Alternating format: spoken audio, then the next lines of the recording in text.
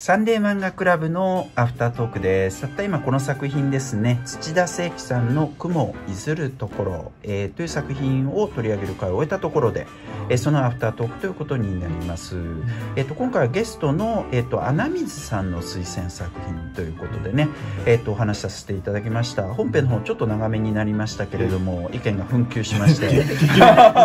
面白かったです。面白かったですね。で、最後にぶっ込んでくる。あそういや最後にあの最後にしてよかったですよかったですね。あ本当ですね。神アングル。みんなの気持ちがちょっと変わっていった 感想って感じです。すごいすごい。すごいうん大事ですよね、はい。まあ、とはいえやっぱり本当に絵としては強いっていうかと持ってかれますから初シーンっていう感じごいしみたいなであのコミカルさみたいなのもあるしすごいなんかこう清烈な絵っていうかねピーカラトリあそうこの人あのこの人編集編集をにも出てくる人。あそう。ですね。らしいですよ。先輩役で出てくる。その時も優しい優しい先輩。ああ、こんな感じとかね。切れてますね。はい。かっこいいですよねこれ。かっこいい。彼は本当になんか性によって人生ちょっと惑わされるよね。どのタイミングも。ああ本当そういう感じだよまなあそうですね。そうね。えそれってなんか結構永遠のテーマなんですかね。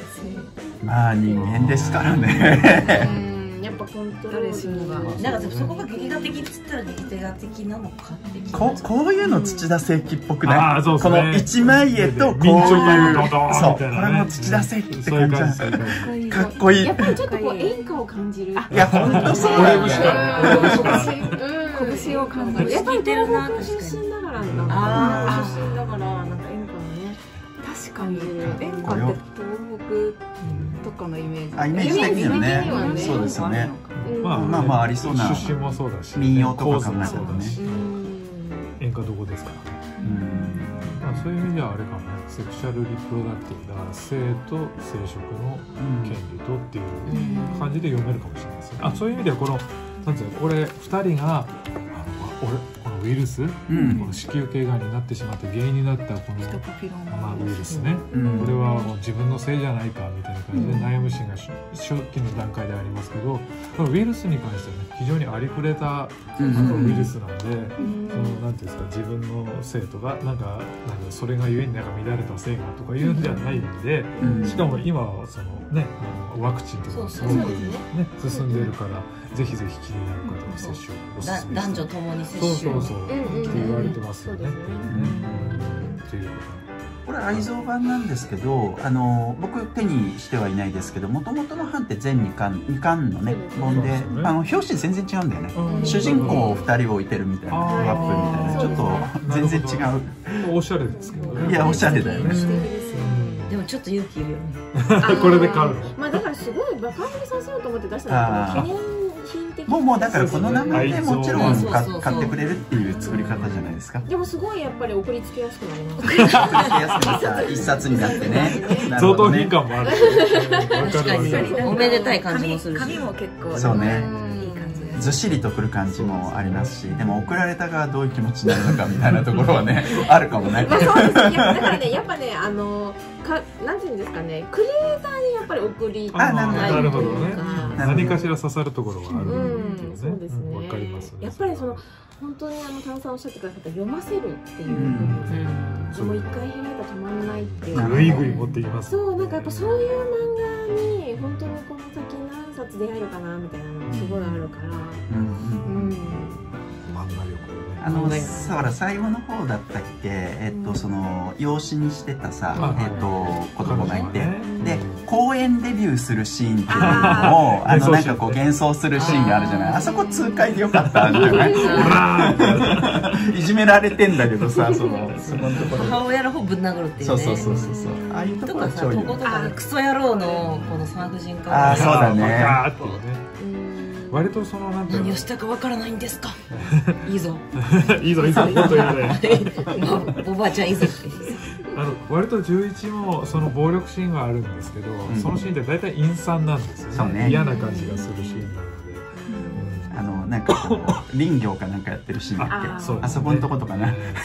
パンチだけじゃなく膝打ちも入れてました痛そうだよね。そう。うわーっていう結構痛そうなんですよね土田さんそうでもねやっぱさこうパラパラってめくってても思うけどやっぱこの土田聖樹さんの絵ってこうカメラ目線登場人物がカメラ目線でこっち向いてる時あー。バチッて目合う感じあが。あなるほどな。確かに。ねえありますよ。ね決めてきますよね、うん。確かにめっちゃ目合うな。めっちゃ目合う。うん。こっちみんなとは言えない感じの。これとかねあれそうですね。泉さんのね。なるほどね。さんのなんか子供が亡くなった時の目とかもこっちを見てますそうですあね。こっちを見てるけど見てないみたいななんかすごい恐ろしい、うん。恐ろしいっていうかもう本当にそう。あそう。これとかね。ねこの顔ですよねやっぱりすごくこの顔ですあーーこれこっち見てるけど見てないん見ですよ。てないですようん。見えてないどこも見てない、すごいねそういうのをさ考えて実際そこまで演出しきるっていうかやりきる画力でもある。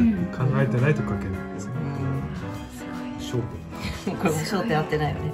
いやいい顔してるよなもう闇落ちした11さんですあ払います払いますって感じですみません取り立てのねなんかこそう仕事をやらされてるのでいやーでもなんか本当この中で起きる出来事をもうあまりにいろんなことがありすぎてほんまかいなみたいな気持ちにはなっちゃうけど、まあこれもまた一つ漫画の力ですからね、そうですね。そうだから最近やっぱり韓国ドラマとか見ててはいはい韓国ドラマもやっぱ最後最初の不幸設定ってもう、あ半端なくやるあんなるほど。こまで追い詰めますこれでもかこれでもかと、ええ。でもでもやっぱり日本の漫画も負けてないなっていうか、そっか。いやそもそもだってそういったところからね参照してたんでしょ？日本の漫画なのかドラマなのかわかんないけど。うん。やっぱうんその韓流のドラマが話題になった時ってある種の懐かしさでしたよね。かつて日本にあったものわかりますわかります。で日本の側大英ドラマみたいなね。そうそうそう昔の劇画漫画みたいなねそういう感じはありましたよね劇画のままちゃんとスタイリッシュにしたあっていうあそっか感じだよね。そっかそっかそうです